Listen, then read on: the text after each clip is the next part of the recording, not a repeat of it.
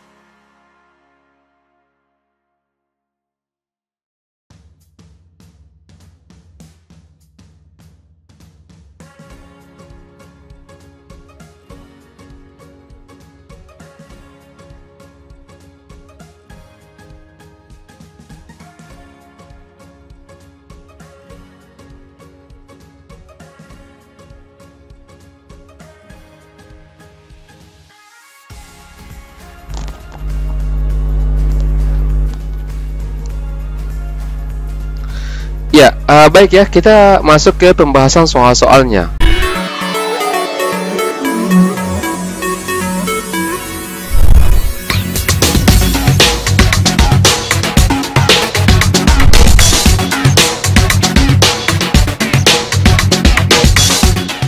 Ya, uh, namun sebelum saya bahaskan, saya berharap agar Bapak Ibu mensubscribe terlebih dahulu ya channel ini, serta agar video ini diberikan tanda jempol suka sebagai bentuk dukungan kalian terhadap channel ini.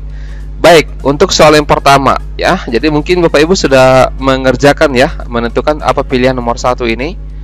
Jadi soalnya seperti ini, uh, setiap hari Senin, setiap hari Senin ya, diadakannya upacara bendera merah putih agar generasi muda bangsa itu tidak melupakan jasa pahlawannya yang telah mengorbankan jiwa raga demi kemerdekaan bangsa dan negara. Namun kenyataannya masih ada siswa dan guru yang datang terlambat. Nah, solusi apa kira-kira yang dapat digunakan untuk mengatasi permasalahan tersebut? Untuk bagian A di sini, itu menyusun aturan yang mempertimbangkan sanksi yang menempatkan unsur pendidikan. Atau B ya antara guru dan siswa ini sebenarnya salah. Jika terlambat datang saat upacara maka sebaiknya ada sanksi pada keduanya. Jadi ini benar ya. Ini bisa juga ini bisa. Bagian B menghukum siswa yang terlambat dan memberikan pembinaan pada guru agar tidak mengulangi perbuatannya. Kalau di sini ada kata-kata yang saya menurut saya kurang serak ya, Bapak Ibu, yaitu memberikan pembinaan pada guru. Nah, kalau saya ini kurang sesuai, ya, uh, saya kurang tahu alasannya. Tapi ini saya apa namanya kalau memberikan pembinaan kepada guru kan berarti kita seolah-olah bahwa mengatakan guru ini masih uh, perlu di apa namanya? Mungkin ada yang kurang dari segi integritas, ya, atau dari segi profesional. Jadi apa namanya? Kita perlu bina lagi. Tapi uh, kata-kata yang seperti ini kan mungkin ini kurang cocok ya uh, memberikan pembinaan pada guru sehingga ini saya tidak pilih memberikan sanksi yang sama kalau diberikan sanksi yang sama ini juga saya kurang sesuai kenapa karena kita tidak perlu kita tidak bisa menyamakan sanksi antara guru dengan siswa. Karena toh juga mereka ini beda ya dari segi apa namanya kepentingannya. Sehingga ini saya coret meminta pulang kepada guru dan siswa yang terlambat dat yang terlambat dengan mengunci pagar sekolah. Kalau misalnya meminta pulang berarti nanti takutnya kelas itu kosong ya. Uh, kurang lebih seperti itu kalau misalkan dari segi uh, apa namanya pertimbangannya begitupun dengan siswa. Apa kita menjamin bahwa siswa itu pulang ke rumahnya jangan sampai justru lebih tidak dampaknya lebih lebih tidak bagus. Mungkin keluyuran ke mana gitu ya. Kalau kita suruh pulang. Jadi yang tersisa adalah tinggal A atau B. Nah kalau saya Bapak Ibu jawaban yang tepat adalah A, yaitu menyusun aturan yang mempertimbangkan sanksi yang menempatkan unsur pendidikan, ya, dan penghormatan atas pelakunya. Ya, jadi bisa dikatakan ini juga sebenarnya ada unsur pembinaan di sini, tapi lebih apa ya? Lebih lebih ke arah edukasi, ya. Nah, ini yang penjelasannya. Solusi yang paling cocok untuk mengatasi siswa dan guru yang datang terlambat adalah dengan mempertimbangkan sanksi yang menempatkan unsur pendidikan. Alasannya seperti ini. Jadi dengan mempertimbangkan unsur pendidikan dalam sanksi yang diberikan, kita dapat menggunakan kesempatan ini sebagai pembelajaran bagi siswa dan guru yang terlambat. Ya. Kemudian sanksi yang diberikan seharusnya tidak hanya sebagai hukuman semata, tetapi juga harus mempertimbangkan dari segi penghormatan, ya. Kemudian menghukum siswa dan guru dengan sanksi yang sama mungkin terlihat tidak adil karena peran dan tanggung jawab mereka dalam menjaga kedisiplinan dan ketepatan waktu berbeda. Oke, ini sedikit penjelasannya ya. Nomor 2, Anda memiliki siswa yang pintar yang ingin sekali menguasai keterampilan yang menurut Anda belum saatnya dikuasai oleh siswa tersebut. Nah, di sekolah hanya Anda yang dapat melatihnya. Namun, Anda tidak memiliki waktu luang. Maka apa ucapan yang tepat yang dikatakan pada siswa tersebut? Ya. Nah, kalau saya di sini Bapak Ibu jawabannya adalah E.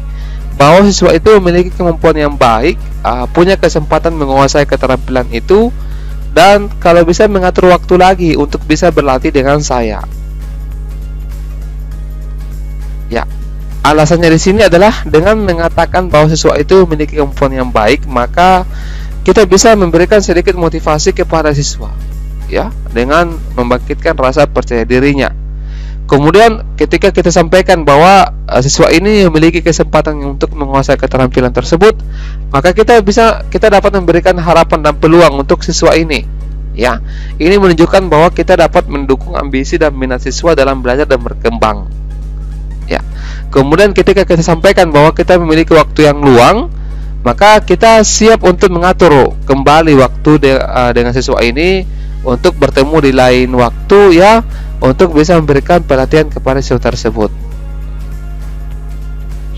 Bagian nomor tiga ya, nomor tiga di sini untuk mengerjakan tugas dengan baik apabila tugas bertumpuk-tumpuk selalu diperlukan banyak energi. Terkait dengan hal ini, maka pilihlah salah satu jawaban yang paling mendekati diri Anda. Ya, apa jawabannya di sini? Kalau saya pribadi apa Ibu? Jawabannya adalah E. Semua terselesaikan sesuai dengan waktu yang direncanakan sehingga masih ada energi untuk tugas berikutnya. Di sini ada komponen bahwa kita perlu manajemen waktu ya dalam menyelesaikan tugas. Kemudian sebaiknya tugas-tugas itu diselesaikan sesuai dengan waktu yang direncanakan supaya kalau bisa lebih cepat lagi ya supaya ada waktu yang tersisa untuk memeriksa kembali tugas tersebut dan energi kita masih ada yang digunakan untuk menyelesaikan tugas-tugas yang tugas yang lain. Nomor 4, saat mendapat tugas sulit dan tidak menyukainya, maka harus tetap diselesaikan hingga tuntas. Bagaimana menurut pendapat Anda?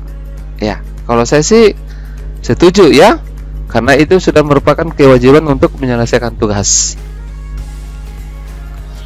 Ya, ini ada penjelasannya ya, kita skip saja.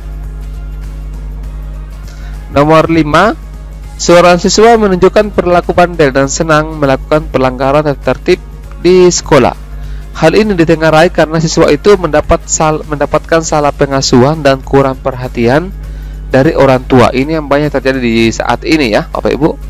Meskipun saya kurang mendapatkan tidak mendap belum mendapatkan data tentang itu, tapi ya dari biasa dari segi wawancara yang saya juga lakukan biasa di sekolah, ya kebanyakan bukan kebanyakan ada yang seperti itu, ya kurang mendapatkan uh, pengasuhan dan kurang mendapatkan perhatian.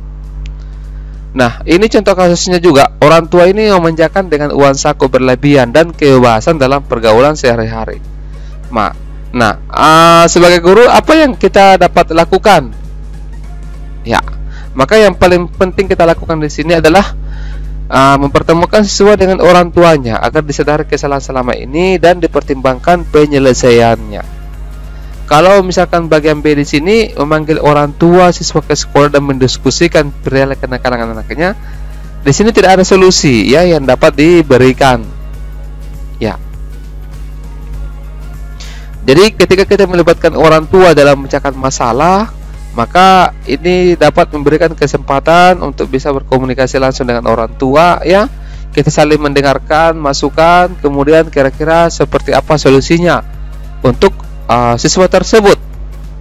Ya gitu.